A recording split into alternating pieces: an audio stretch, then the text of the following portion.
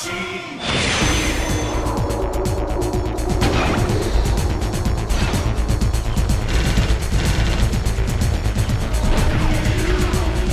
is up YouTube? This is Nanashi with a brand new deck profile video. This time I'll be showing you the changes and updates to my fish deck, which has been getting surprisingly high demand due to the fact that it's been well over a year since I updated, and I did promise one after we got our hands on the new White Aura monster.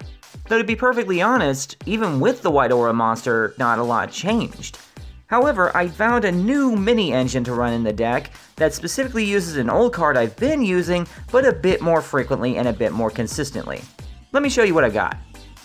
Starting off with the monster lineup, we have a pair of seven colored fish, or at least it will be once I get my second copy in the mail. I mostly just run it for the meme, but I was thinking about trading it out for something with lower attack that could be pulled back with salvage, maybe Tongyo or, I don't know, something less ugly a playset of Double Fin Shark. On its normal summon, it takes any level 3 or 4 water fish type monster in your grave and special summons it in defense, but with its effects negated. Now you cannot special summon monsters to turn you use this effect except water monsters, which is the primary reason this deck is all water. Well, not just him, but a few other cards as well. 2 Royal Swamp Eel. I really want to run this at 3, but given that it doesn't have the ability to special summon itself, 2 seems fine. It's just a 4-star fish tuner, but it does also have a stipulation saying you can only use fish-type monsters to synchro summon with it, which is fine because that's all I run in the main. A playset of Silent Angler, who can special summon itself from your hand if you control a water monster, but you cannot special summon any other monsters from your hand for the rest of the turn. A playset of White Stingray, the card I was waiting for and has given this deck a bit of a new edge, but at the same time didn't change as much as I was hoping it would. You can special summon him from your hand by discarding a water monster, but you can only special summon him this way once per turn. And he also turns himself into a tuner if he is special summoned from the graveyard. A playset of Xyz Remora, a fish-type monster I was already running, but due to a small change in the tech cards I use, this card has become one of the best and most fluid playmakers this entire archetype actually has to offer.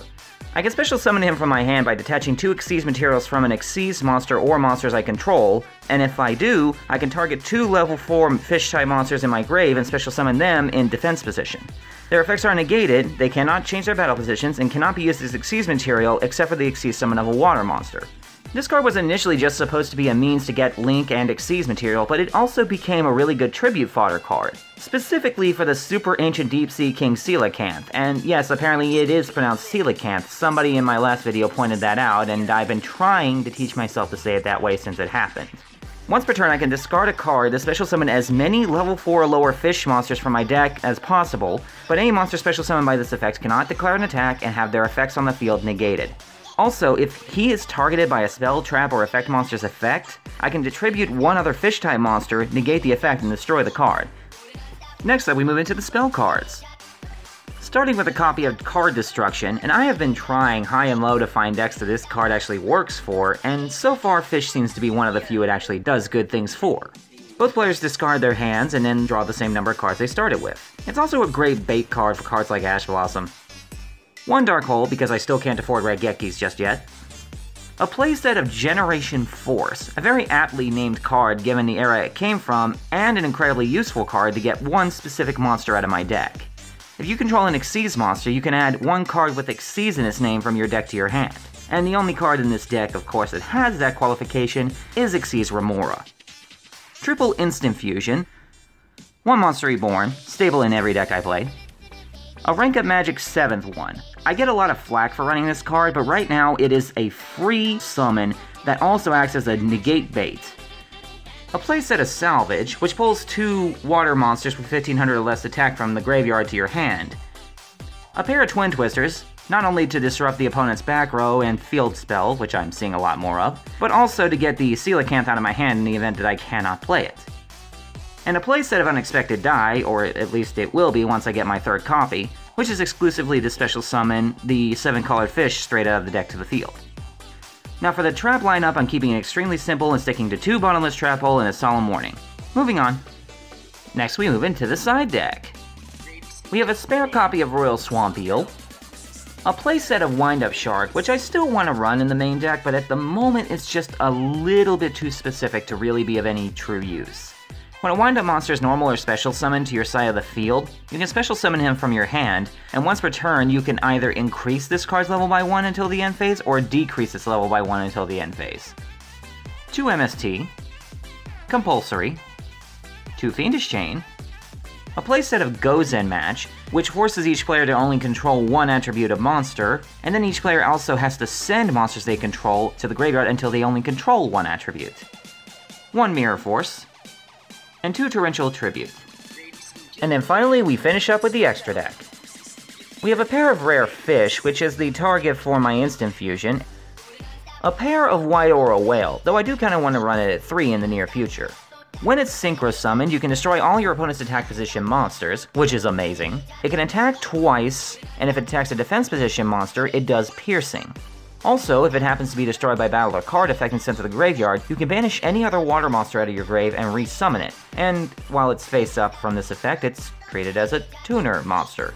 I know that's mostly for the White Aura Biphamet card we're supposed to be getting, but it is not worth using.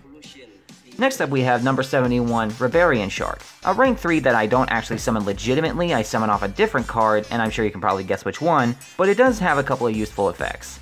If it has Xyz material, I can target a number monster in my grave, special summon it, and then if I do, I can attach a material from him to that newly resummoned monster. But the main effect I use it for is that if it goes to the graveyard, I can stack a rank up magic spell on top of my deck, which will always be the seventh one. One copy of Abyss Dweller. I'll be perfectly honest, this card's mostly a burner card, because I don't really use its effects very often unless I absolutely need to. While it has Xyz material that was originally water, all water monsters gain 500 attack, and once returned during either player's turn I can detach a material, and any card effects that activate in my opponent's graveyard cannot be activated in this turn. One Bahamut Shark, which is the main way that I pull Rebarian Shark obviously, because I can detach a material from it and special summon a rank 3 or lower water Xyz from my extra deck, but he can't attack the turn I do this. And then I use Rebarian Shark as Xyz material to summon the full armored Black Ray Lancer, though it can be summoned using 3 level 4 water monsters. He gains 200 attack points for each Xyz material under him. If he would be destroyed, I can attach all the materials under him instead, and if he destroys an opponent's monster by battle, I can target a spell trap the opponent controls and destroy it. Also a Hope Woven Dragon Spider Shark. When any player's monster declares an attack, I can detach a material from him, and all monsters my opponent currently controls lose a 1000 attack until the end of the turn. And when this card is destroyed by battle or card effect and sent to the graveyard, you can target one other monster in your graveyard and special summon it. I can only use each effect once per turn though. 101 Silent Honor Arc. I can double detach to target an opponent's special summon monster in attack position and attach it to him as Xyz material, and if he would be destroyed, I can detach a material from him instead. 103 Ragnazero is a tech card I actually stole from Penguins. Once returned during either player's turn, I can detach material and target a face-up attack position monster my opponent controls whose current attack is different from its original attack, destroy it, and if I do, I get to draw a card. And then the rank up magic 7th one target, C101 Silent Honor Dark. I can target a special summon monster my opponent controls and attach it to this card as a material. If he's destroyed and sent to the graveyard while it has material, I can special summon it back from the grave, then gain life points equal to its original attack. But number 101, Silent Honor Arc, must be in the graveyard to activate and resolve this effect, and if he is special summoned this way, I can't attack with him that turn. And a playset of Mistar Boy. All water monsters gain 500 attack and defense, fire monsters lose 400 attack and defense, and if he is destroyed by Valor card effect, I can take any water monster in my grave and put it back in my hand, though this effect is a hard once per turn. And that is the deck. I'll be perfectly honest with you, at the moment this deck is very narrow focused and is a bit fragile to disruption. It does not like being interrupted from its combos, but when it gets the combos off, it usually results in a decently strong power board that some players have difficulty handling. Now, a lot of people have pointed out in the past, and are probably going to point out now, that the extra deck between this and Penguins are very similar, but each one uses their extra deck a little bit differently. Penguins use their extra deck as a means of interrupting the opponent and use the main deck cards as the main means of removal and advantage plays. Sharks use their main deck as material and use the extra deck as their main means of doing moves. Now I am still waiting for the rest of the fish type support to come out, specifically the Great White Aura 7-star Synchro, as well as White Salvation, which is a great resource recouping card alongside Salvage. And I know that once we finally get those cards, this deck will be even better than it is now. I thank you guys for watching the deck profile, and if you can think of any way that I can improve this fishy deck, feel free to let me know. In the meantime, This has been Nanashi, signing out.